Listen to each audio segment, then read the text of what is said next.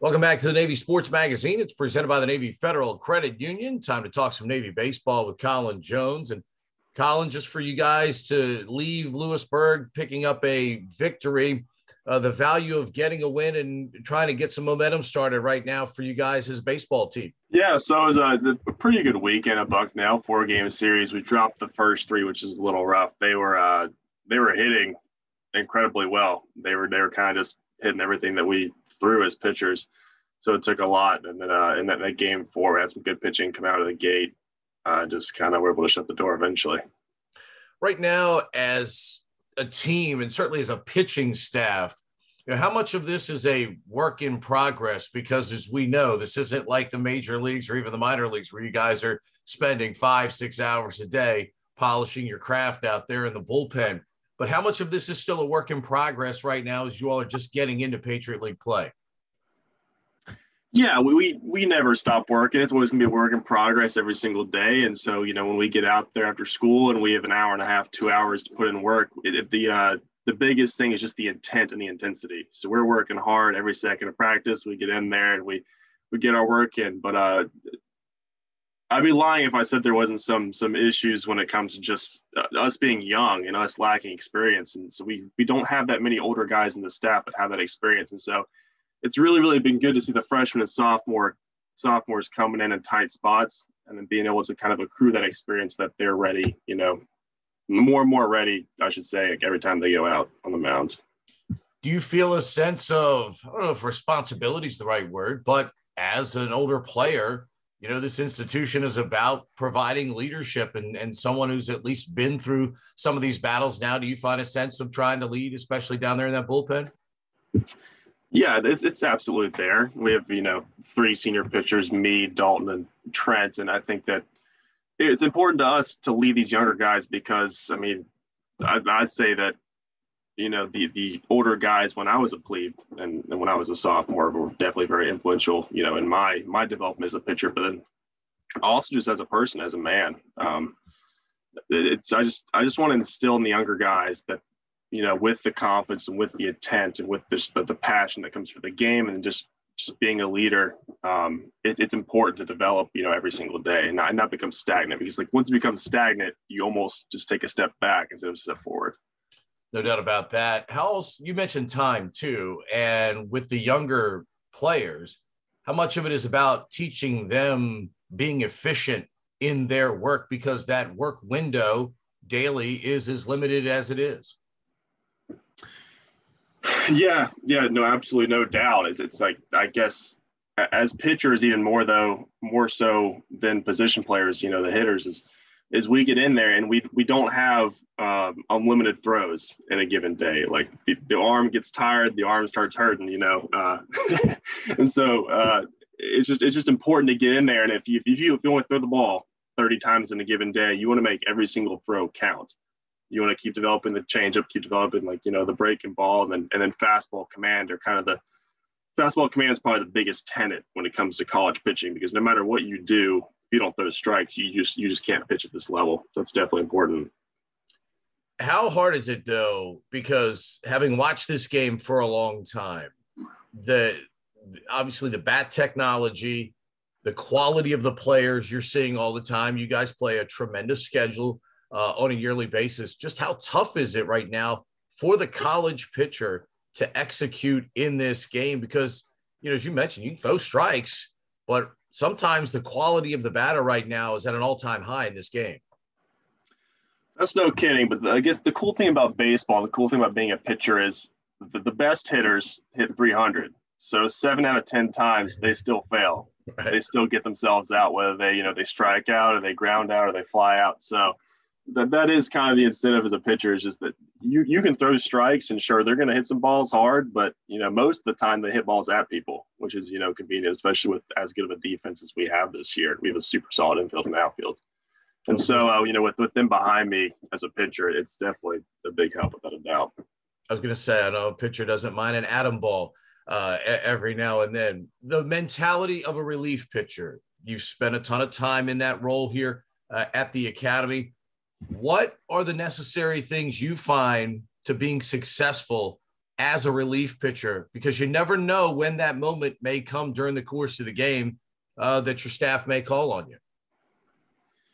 Yeah, I love it. I eat it up every time. You're, you're sitting there and you're you're kind of anticipating a little bit. You you kind of know when you're throwing. We get like a little sheet that says what relief pitchers are up, like they are available to pitch that day versus the pitchers that are down that aren't going to throw that day. And so you have, you have a little idea of when coach might give you the call, and then you just you just sit there and you're observing the game, and then all of a sudden you look down and, and someone's like Jonesy get hot, and then I'm sprint to the bullpen, and, it, and I love it because it's so it's just a big uh, big testosterone boost. It's, it's, it's all about you know the energy and the intent and the intensity that you have to come in there and and to like to, to be very very focused on your task, which is get out of the inning if you're in a tough spot, or put a zero up on the scoreboard and not let the other, other team score. So I mean I I love it just because because of the intensity that you don't always see on the starter side. You know that the starter is there for longevity. They're supposed to put up a lot of zeros and they're supposed to throw, you know, 100 pitches compared to a reliever where you're going in there and you might only throw the ball, you know, 12. You might you might only throw 12 balls just to get you out of the inning. And so it, I I love that piece of it because it is so intense. What is the mindset coming out of the bullpen in a situation like that? Because as we've seen in competitive sports all the time, some players thrive in in pressure situations for you, as you mentioned, you may come in in the middle of it. There may be bases loaded, two guys on, whatever the situation. To you, what have you found to help get you through those types of pressure situations? Keep the breathing, I'm sure, at you know a minimum, uh, if you possibly can, as you toe the rubber there. Yeah, no, no doubt. It, it's there's definitely a lot of pressure, and you know you want to you want to do well, but the, the biggest thing is you're you're carrying that flag so there's always a flag on the mound, and I've heard this this used uh, from our old pitching coach Bobby Applegate, who's no longer uh, at Navy, but he always said like someone's always got to carry the flag. The pitcher on the mound carries the flag, and so once once he's done carrying the flag and he's you know getting pulled out because he got in a tough spot or his pitch count is up or whatever, that relief pitcher that come in that comes in after him like has to continue to carry the flag for the team.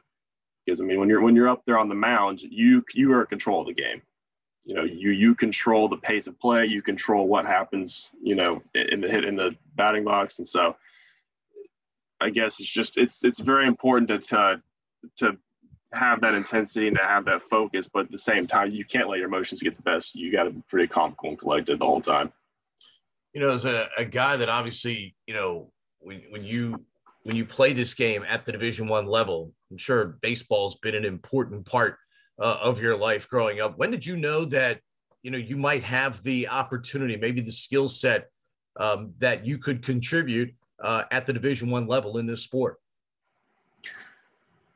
I don't know. I, I guess well, the good, the good, you know, being a tall lefty made a little little bit easier on me because I guess they always say the lefty pitchers are a commodity in baseball, and whether or not that's true, I don't know. Um, but I was definitely you know blessed with the opportunity to to be a you know a lefty with a tall frame, and so that definitely helped. And so I think I was freshman sophomore year of high school, and you know I, I was throwing the ball pretty well, and I was um playing on my high school baseball team, but as well doing the whole showcase baseball thing during the summer. You know, where you, in my case, going all over the southeast, you know, playing in different tournaments, and I was able to compete at that level. And so, you know, I was hopeful and, and blessed the opportunity to come to Navy and compete here. I was going to say, I think maybe outside of, you know, Texas and California, the southeast probably uh, as big an area uh, and a competitive an area. You know, playing against good competition like that you know, how much did that test your skills? Uh, as you mentioned, especially in the showcase. I mean, you show up at a showcase and there's hundreds of guys sometimes at a complex uh, playing in those things on a particular week or weekend.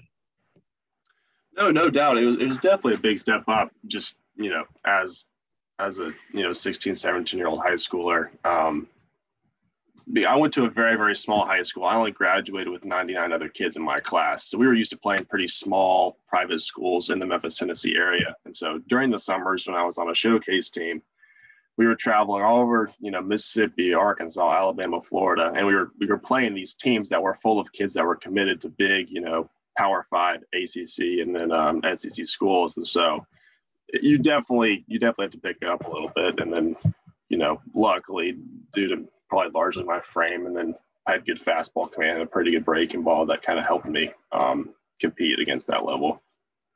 For for you, what what constitutes success in your mind, especially a, as a relief pitcher? What makes you walk off the mound going, "Yeah, I I, I was able to do my job and and do it well on a particular occasion"?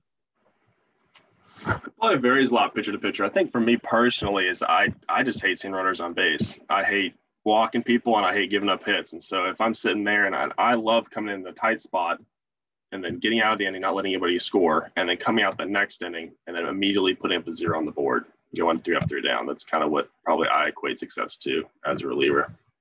Coming up this weekend, obviously, uh, a chance to compete uh, against a, a big time rival uh, coming up this weekend. How do you manage to embrace the excitement of that rivalry, but at the same time, you know, temper the emotions to make sure that you can perform within yourself and, and not kind of have to chase it a little bit uh, if you're too excited out there.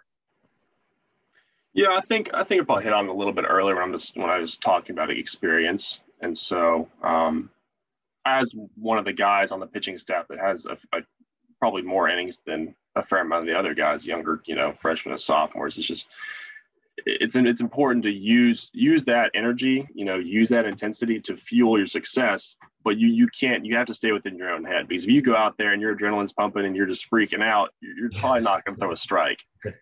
You're you're gonna like you're gonna you're gonna fall off of the you know the tenets that pitching is built on. You know, extension, follow through, and and kind of staying within yourself and you have to use use the energy but you also can't like you can't let it you know add too much fuel to the fire if that makes sense. Yeah i mean i imagine too i mean you know coaches talk about fundamentals and and certainly pitching and mechanics is is everything.